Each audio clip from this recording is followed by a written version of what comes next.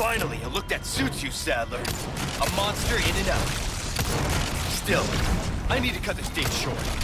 It's not me. It's you.